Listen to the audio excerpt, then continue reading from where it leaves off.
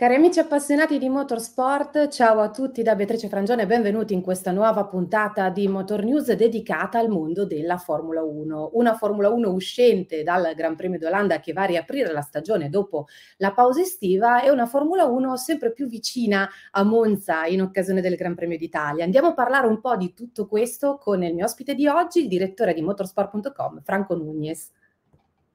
Ciao Franco. Buongiorno Beatrice.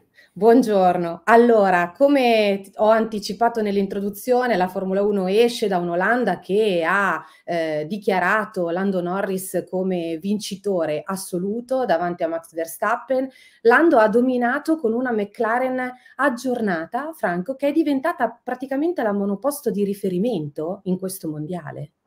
Sì, io credo che la McLaren sia la macchina universale in questo momento, capace di adattarsi a qualsiasi eh, tracciato come caratteristiche, veloci, lente, curve ad alto carico, basso carico. Quindi in questo momento è certamente eh, la vettura che ha indubbiamente superato la Red Bull da un punto di vista tecnico. Eh, è vero che Max Verstappen ha 70 punti di vantaggio e quindi giocherà la partita di gestire, lo abbiamo visto proprio domenica, eh, mentre in Ungheria, eh, quando ha dovuto subire gli attacchi della McLaren, ha avuto reazioni inconsulte di chi ha proprio perso il controllo della situazione, nella sua gara di casa, dove c'era un grande pubblico solo per lui, ha avuto un atteggiamento completamente diverso, molto razionale, consapevole di quello che poteva essere il potenziale della macchina a disposizione. Quindi è un mondiale che eh, spesso e volentieri cambia il protagonista, ci sono ancora nove Gran Premi e Monza è una pista particolare dove il basso carico aerodinamico potrebbe un po' rivoluzionare eh, di nuovo i valori in campo. Sarà interessante da seguire. Vedo che hai già anticipato un po' di domandine che avevo per te, ma andiamo per, andiamo per gradi. Restiamo un secondo su Max Verstappen e sulla Red Bull, perché comunque Max è da Barcellona che non riesce a salire sul gradino più alto del podio. Che cosa sta succedendo alla Red Bull, Franco? Ah, io credo che la Red Bull sia vittima di una macchina troppo complicata eh, che doveva determinare un grandissimo salto di qualità e riproporre una supremazia come abbiamo visto l'anno scorso e invece le difficoltà della macchina, soprattutto in questo strano impianto di raffreddamento che è quadri ripartito in quattro livelli anche in altezza dei vari radiatori, eh, rende difficile il raffreddamento e eh, il fatto che inseguano l'affidabilità del motore Honda, un motore è cioccato prima del previsto, eh, testimonia che probabilmente eh, la stessa Power Unit Honda che veniva usata in piena potenza l'anno scorso, quest'anno viene centellinata con più cura e attenzione per evitare di avere ulteriori rotture. Per cui c'è una macchina che eh, ha un po' perso il bandolo della matassa e non riesce a tenere il ritmo degli sviluppi eh, che ha portato in particolare la McLaren.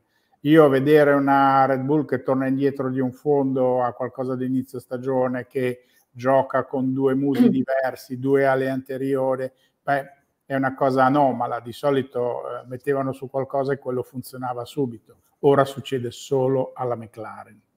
È normale anche chiederti, perché in tanti si sono fatti questa domanda, quanto magari stia influenzando l'assenza di Newey all'interno della squadra in questa fase così delicata, secondo te? Sicuramente tutte le polemiche umane all'interno della squadra eh, hanno un peso e devo dire eh, è un lavoro ciclopico quello che sta facendo Christian Horner nel cercare di tenere tutti i coach insieme.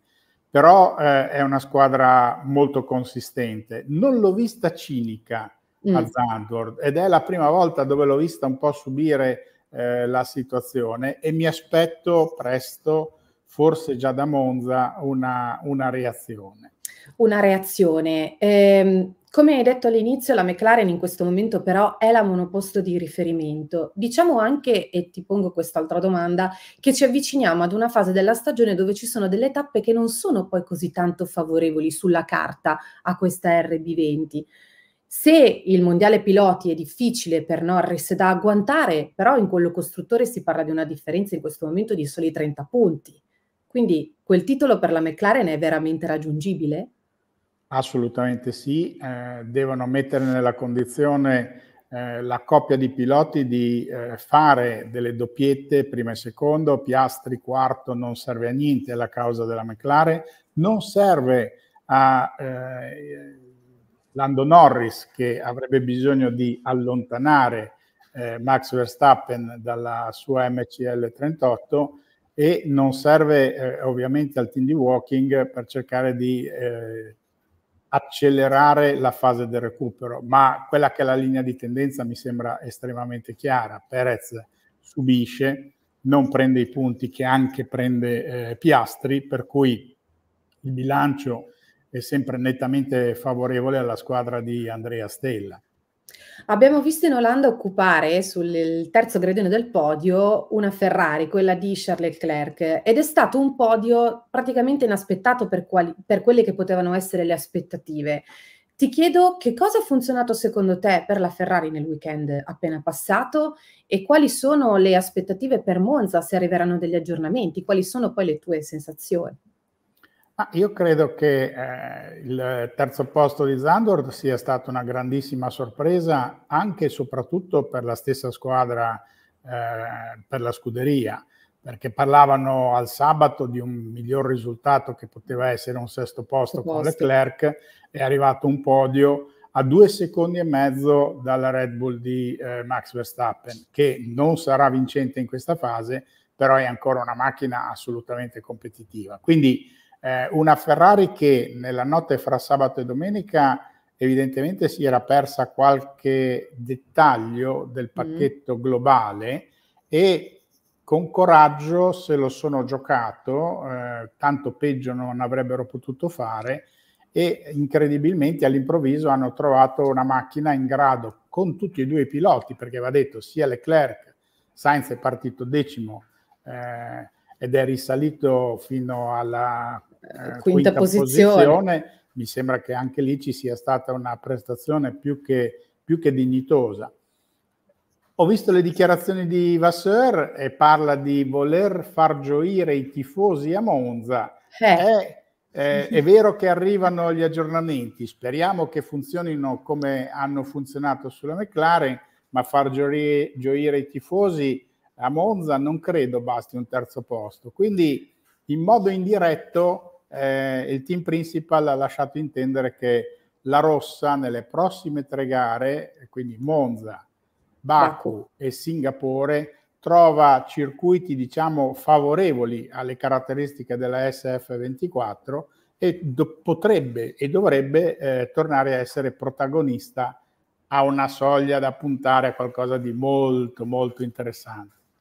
Abbiamo visto però finalmente una Ferrari che ha osato durante l'Olanda, durante il Gran Premio d'Olanda, perché è riuscita strategicamente a far andare bene tutto, ma anche i piloti, la squadra. Cioè abbiamo visto finalmente quell'osare no? che si diceva tanto in questi, in questi, mesi e finalmente lo ha fatto in maniera eh, buona, in maniera positiva, Franco.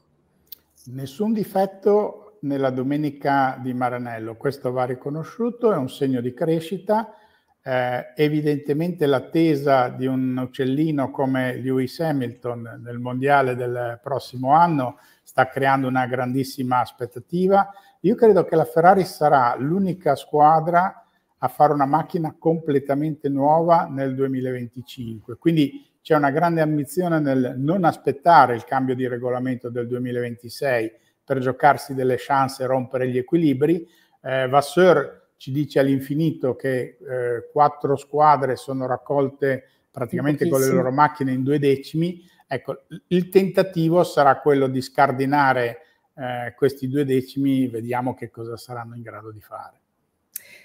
Visto che ci stiamo avvicinando al Gran Premio d'Italia, oramai siamo lì, ci stiamo entrando proprio pienamente, eh, Monza si può dire, Franco, che sarà in parte il fine settimana un po' dei giovani piloti, no?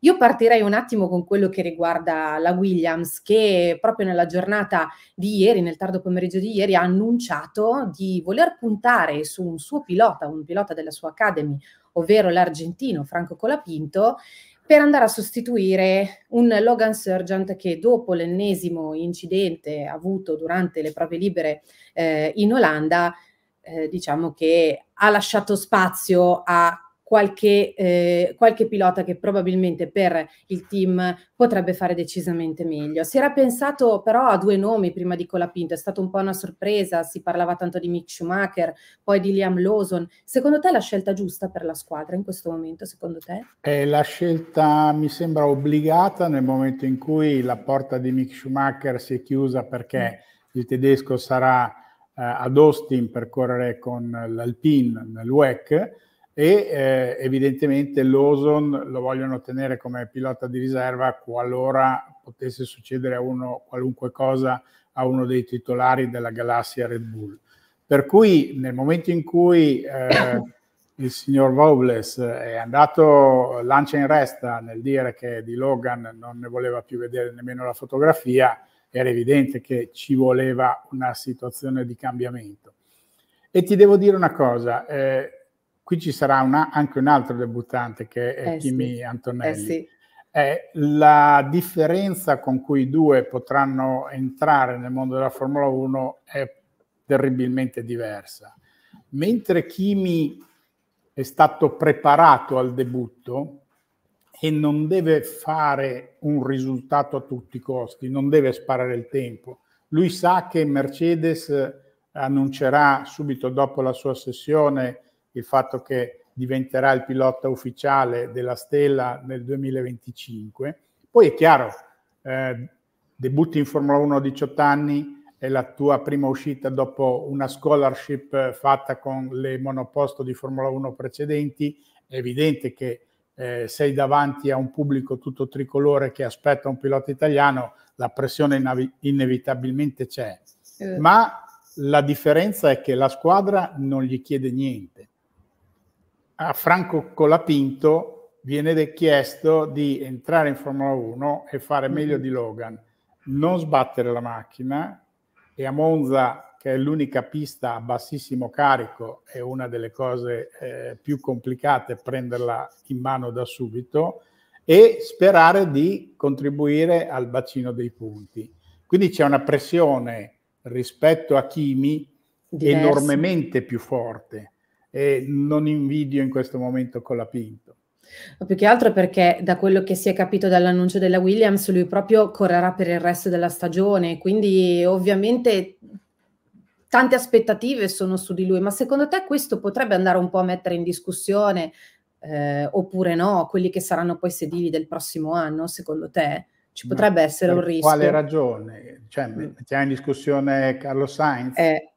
Ragazzi, di cosa stiamo parlando? No, questa è una grande opportunità per eh, Colapinto. Certo. Torna un argentino in Formula 1 dopo Gaston Mazzacane, quindi andiamo indietro di 20 e passa anni. 23 anni, se non erro. Per ritrovare un, un aggancio eh, con il mondo bianco e azzurro No, è una grandissima opportunità, un po' come l'ha avuta l'Oson eh, l'anno scorso, quella di rimettersi in gioco. Vediamo che cosa succede, ma eh, non parliamo di eh. mettere in discussione eh, gli abitacoli. Lo certo. in giro, eh, però eh. il mondo, il, mondo, veramente impazzisce come la panna eh, da un giorno a quell'altro. E infatti proprio per questo te l'ho chiesto, perché so che tu sai mettere benissimo un punto a certe, a certe cose. Franco, io non posso fare altro che ringraziarti e augurarti un buon fine settimana in quel di Monza. Grazie per essere Beh, stato eh, mio vado, vado, al Gran Premio e sono curioso di scoprire, ho un, un obiettivo, capire Vai. se è la macchina sbagliata di Newey, quella che sta correndo, o se invece Pierre Vacher non ha, non ha tenuto tutti gli appunti che Newey gli ha lasciato per lo sviluppo. Ti auguro allora di avere le tue risposte, le risposte che cerchi. Grazie mille a Franco Nunez, direttore di motorsport.com, per essere stato qui con noi. Grazie mille Franco, alla prossima, ciao. Ciao ciao, grazie. E noi cari amici siamo giunti alla conclusione di questa puntata di Motor News e ovviamente ringrazio Luca Preti per il supporto alla regia e io vi do appuntamento a una prossima puntata di Motor News. Ciao a tutti, alla prossima.